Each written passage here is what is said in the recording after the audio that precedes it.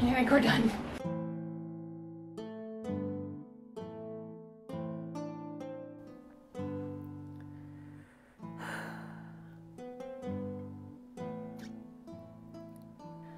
Croissant, friends. Welcome back. It has been a hectic couple of weeks here at Domus Elenae. We are 100% recovered from the storm of the century, but my day job work has ramped up pretty significantly recently, both because of the general rhythm of the academic year and also because we're still scrambling to catch up on the seven days that we were closed and couldn't get things done. Today, I will be making a London hood. I know what you're thinking. Courtney, didn't you just make one of those a couple of months ago? Okay, First of all, it was nearly a year ago in May 2020. And second, how exactly was that almost a year ago?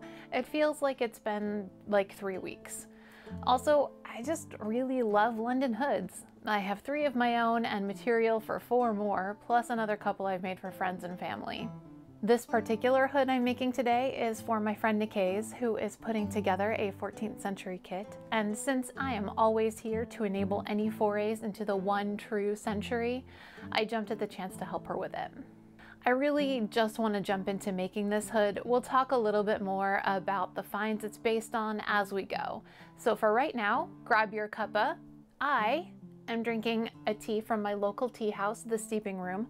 This is their Madagascar Vanilla and it's one of my go-to teas for a blustery day. Let's get into it.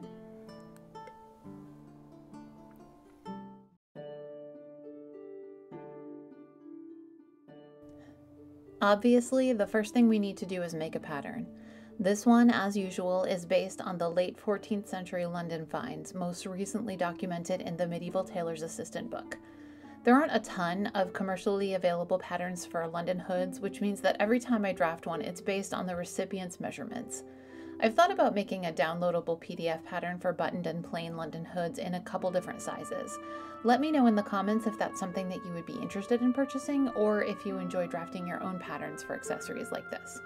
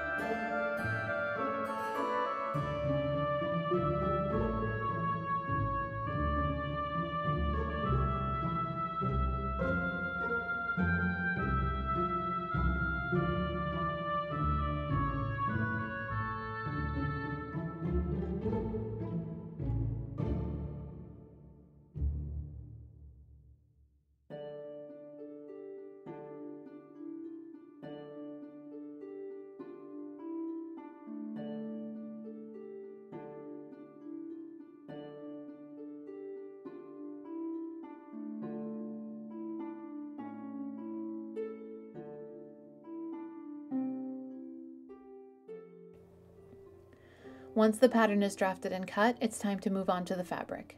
This is a lovely wool suiting in a dark midnight navy that will go with just about everything Nicaise owns. I'm tracing the pattern onto one layer of fabric at a time because I drafted the pattern with no seam allowance and I want to make sure that I have all of my sewing lines chalked down so I can cut around them.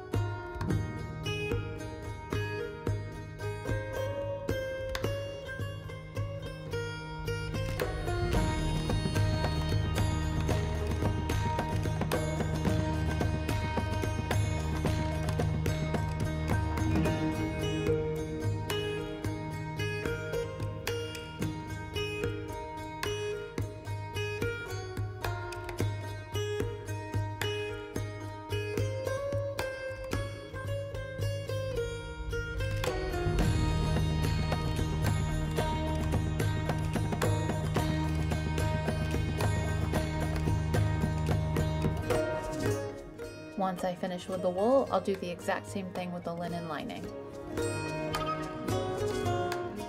Time to sew the gores in. I'll be using the same technique that I used on my first London hood video, and if you're interested in how I do it, you can check out my gore tutorial video in the card in the corner and the description below.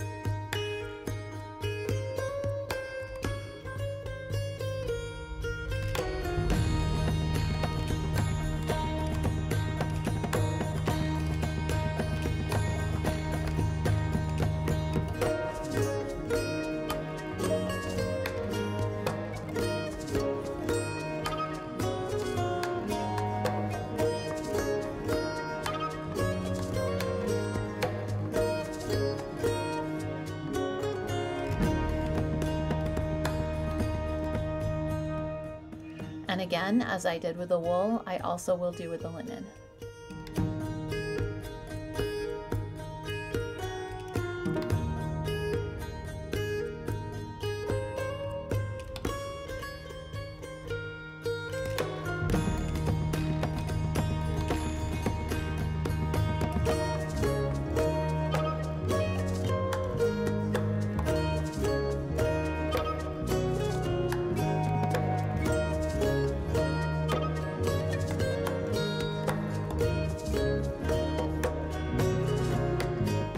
After that, I sew the rest of the gores in on the machine along with the center back seams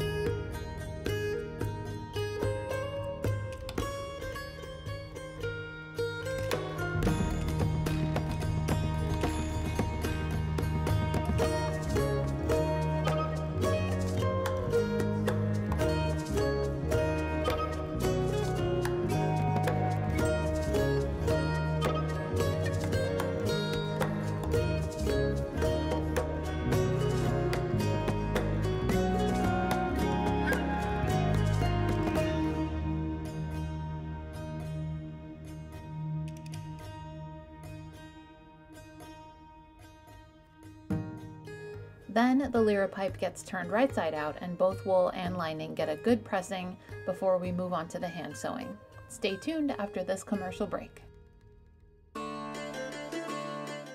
All of the seams on both wool and lining are going to be felled down. It strengthens the seams and prevents the fabric from fraying. This takes approximately forever.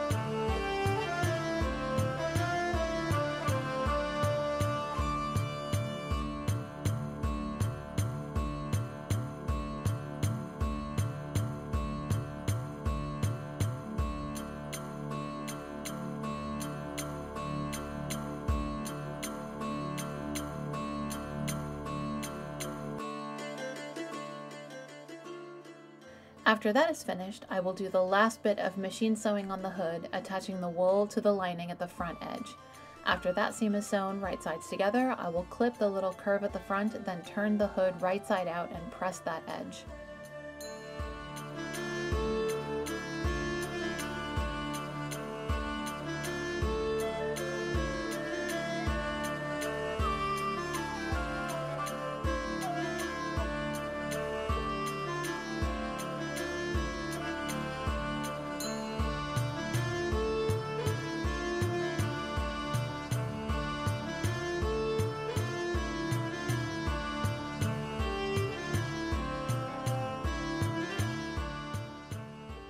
Next, I will pin the hood along the bottom edge and trim up both pieces so they are even. Then I'll fold the bottom edges inward, pin them, and sew the wool to the lining with barely visible whip stitch that will finish the hem.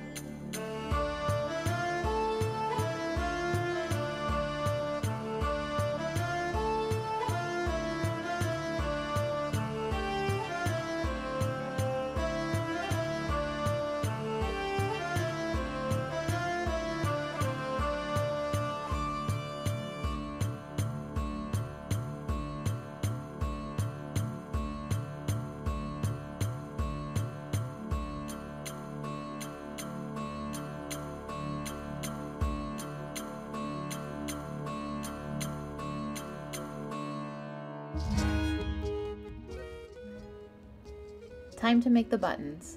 I could have used pre-made metal buttons, but there's something nice about round fabric buttons, and they are in keeping with the fabric buttons found in that 14th century London dig.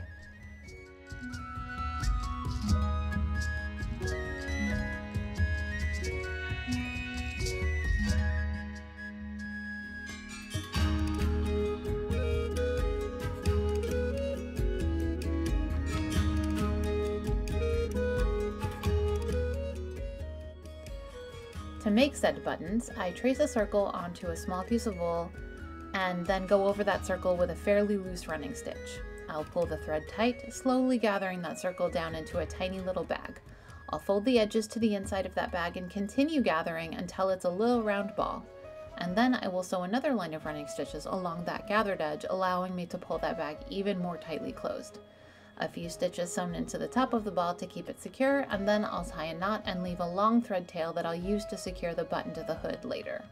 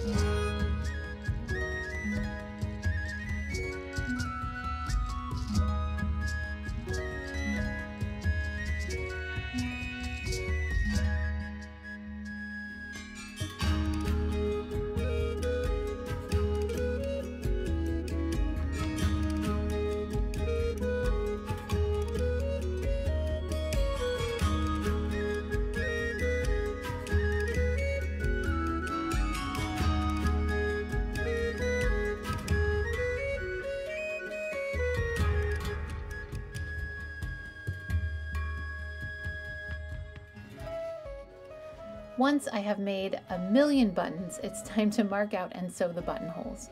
I'll mark the spacing about an inch apart and the length about as long as the buttons.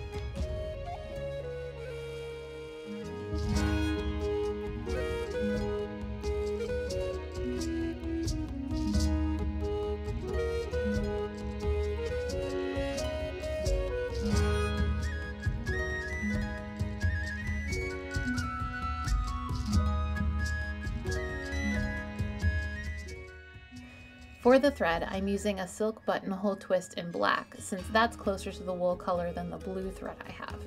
And instead of using scissors or a seam ripper to cut the buttonholes, I'll use a hand-forged buttonhole cutter.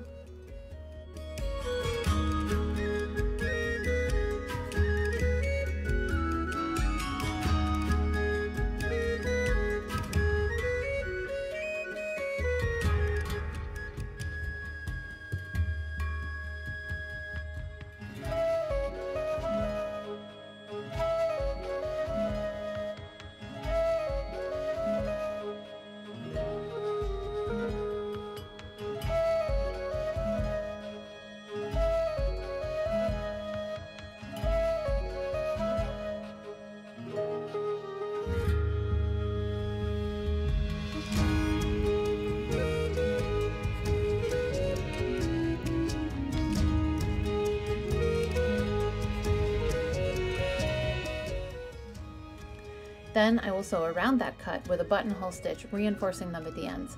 There's a ton of buttonhole tutorials out there, but if anyone might be interested, I can make one here as well. Just let me know.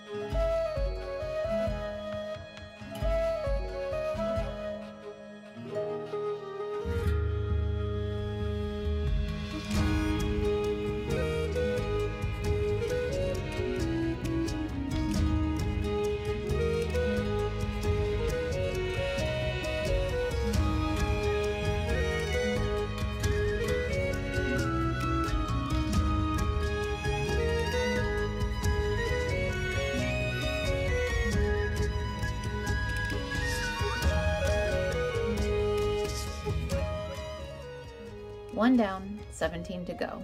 This kept my hands pretty darn busy during the lulls in the winter storm.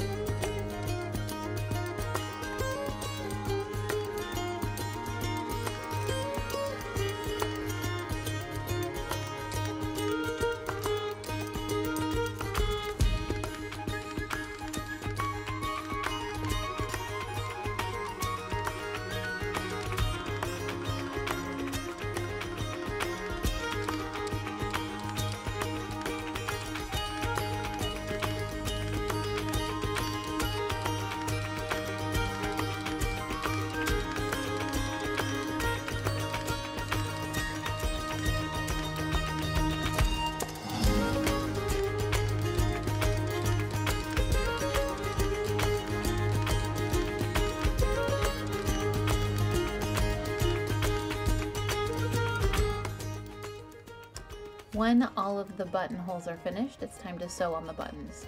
Using the thread tail, I'll attach the buttons with a stitch or two, wrapping the thread around those stitches to form a stabilizing shank.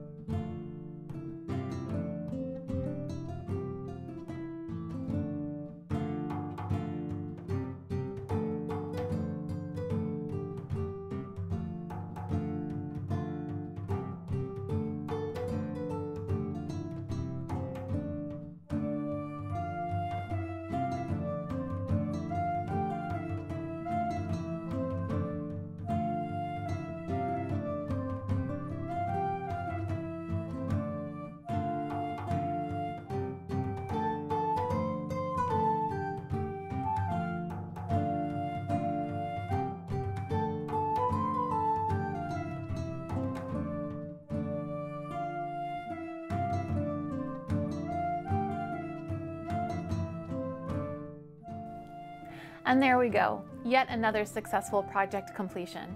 Nicaise was very pleased with her hood, and I promise as soon as it is safe for us to take some pictures, I will get some lovely shots of her entire kit and share them on Instagram. Tune into my next video for something a little bit, a lot bit different. I know I said that I'd stay medieval, but I had this amazing idea for April Fool's Day, and I promise after that we'll be back to all medieval all the time. But you'll have to check back in to see what the surprise is. Until then, if you liked this video, hit the thumbs up and subscribe to my channel, and perhaps consider watching another of my videos too. I upload every other Friday, and if you like reminders, ring the notification bell. If you want to find me on other social media, I am at Opus Elenae everywhere, even on TikTok now, which is, as a millennial, mildly terrifying.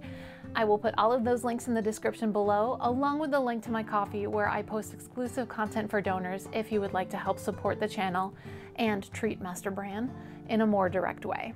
Until next time, be kind, do the work, continue supporting marginalized people, and keep creating. Will.